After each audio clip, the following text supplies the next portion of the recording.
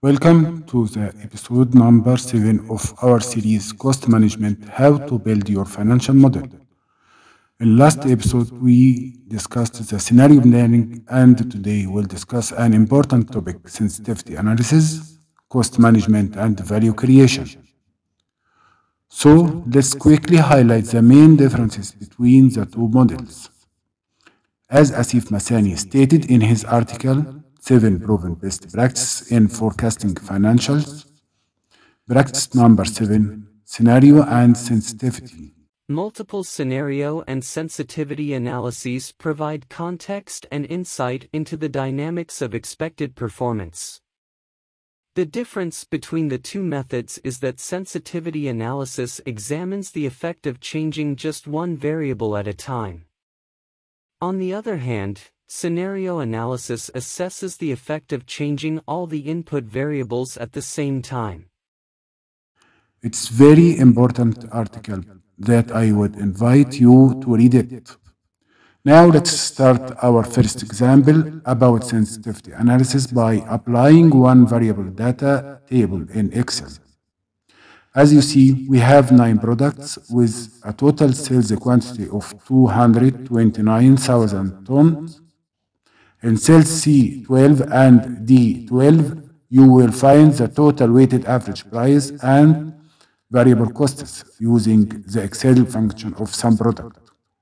For better understanding of this function and the different use of it, you can watch our episodes number 4 and 5 in our series about Excel for FP&A and cost management. The contribution value in cell C16 and the EBIT in cell C19 as you see. Now, let us first apply one variable sensitivity analysis. Let us see the cost sensitivity. We need to know the contribution sensitivity to the inflation and deflation of the variable costs. In other words, the sensitivity to 1% increase and decrease in the inflation rate. The inflation rate is 10%, and in column K the increase and decrease by 1%. In column L create a table of 11 cells, then copy cell E12 the average variable cost, and paste special value in cell L11. Again, paste special to ensure a correct value. In cell L10 to L6 increase the effect of the inflation by 1%. For example, by multiplying cell L11 by 1 plus the inflation rate in column K, then do the same in L12 to L16. In cell M5 type equals C16 of contributions value. Select cell L5 to L16 then shift plus right arrow. From what if analysis click data table, and in column input cell select cell E12 the variable cost and press OK. As you see in cell M11 the contribution is the amount as cell C16 because it's related to the same variable cost of L11 and E12. Above and below cell M11 you will find the expected contribution after the effect of inflation.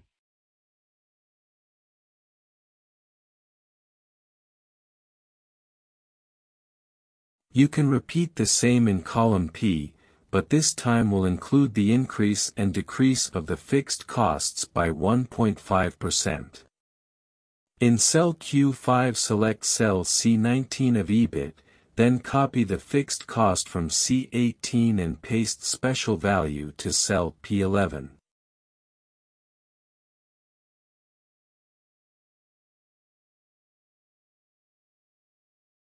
And in cell P10 type equal P11 of fixed cost then multiply by 1 plus cell O10 the fixed cost saving that we want.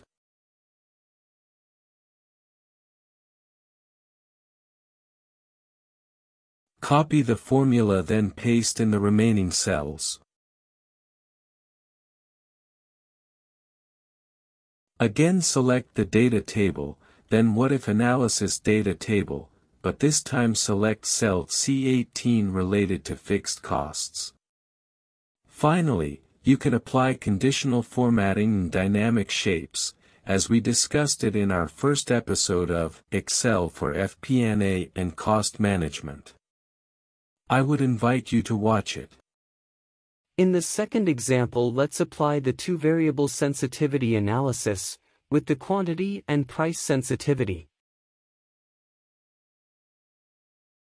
Create table as you see, copy the quantity from cell C12, then paste special value in cell N5, then increase and decrease by 3% quantity growth rate. Again, by type equal N5 and multiply by 1 plus cell Q1 of the growth rate, finally copy the formula right and left. But sure, in cell L5 and M5 will be a minus sign because it's decrease not increase.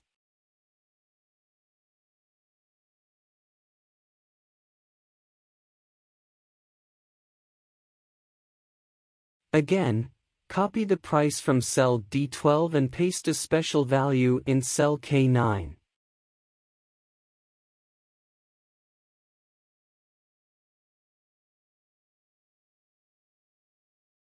Do the same increase and decrease by 4% of a price growth rate cell M4.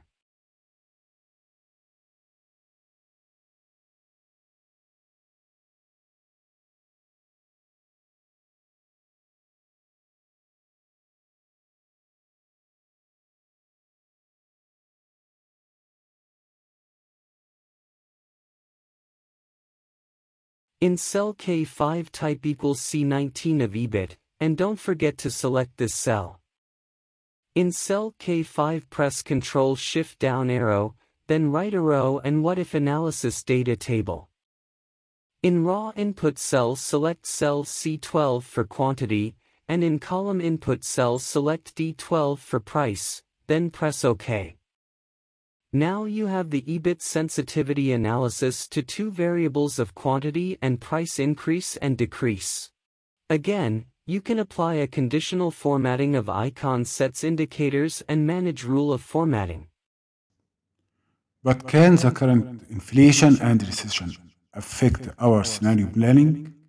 We have asked one of the most professional experts in the global cost management, James Ryman, to share a short advice about the need to apply sensitivity analysis during recession and inflation.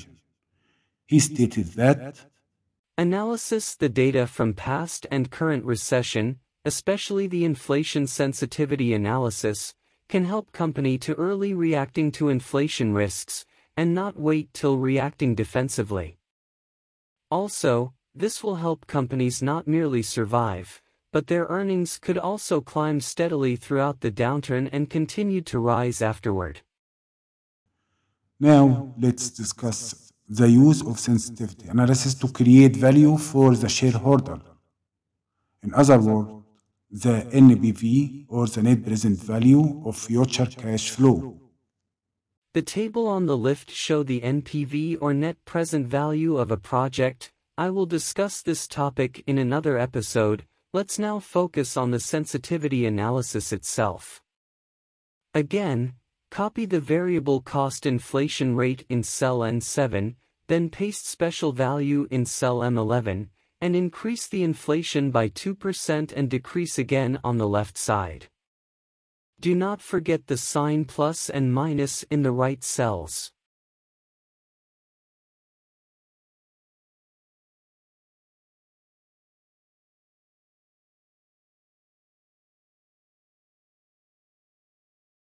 Copy the sales price growth rate from cell N5, then paste special value to cell J15, also increase and decrease it by 1%.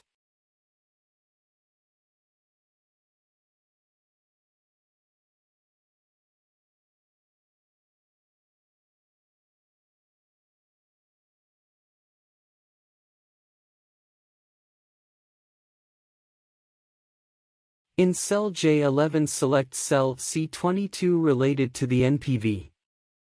Again, in cell J11 press Ctrl Shift down arrow, then right arrow and select what if analysis data table. In row input cell select cell N7 of the inflation rate,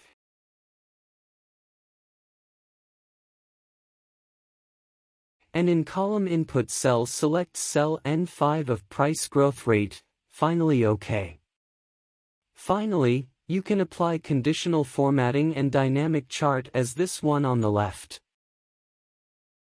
So remember to link cell J11 cell C22 related to the NPV. Also, don't forget to copy and paste special of M11 and J15. Now, would you like another scenario modeling method for better planning and forecasting?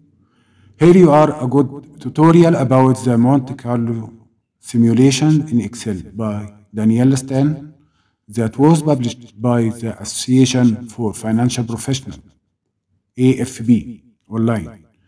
Again, I would invite you to watch this important tutorial by Daniel.